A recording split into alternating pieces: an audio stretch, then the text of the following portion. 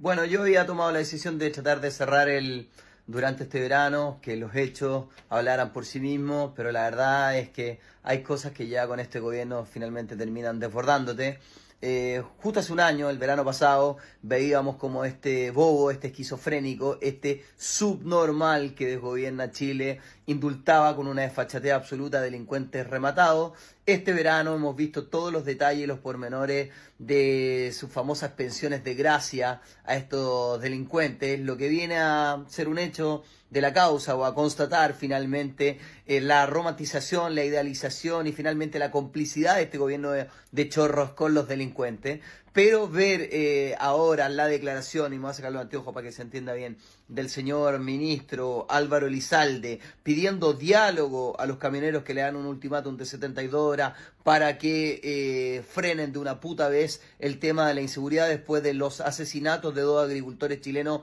arriba de sus camiones por parte de ciudadanos extranjeros, ya es el deporte total. La verdad es que este gobierno eh, no tiene otra palabra o otro concepto que lo define que una banda de chorros miserables, caras de raja, idealizadores de delincuentes, y en la única categoría en la que pueden estar es la de Pornhub o en la Red Tubo y en las categorías de pornografía dura, porque realmente la cagaron, weón. Gobierno avalador de delincuentes, de una inseguridad brutal, para que les leo la cifra hoy día con el tema de los asesinatos, cómo han aumentado ya esto es un desborde total. Váyanse un rato a donde ustedes saben y métanse el diálogo en el mandala bien adentro. Gobierno de chorros, Bobo Boric, subnormales, váyanse de una puta vez de este país, weón.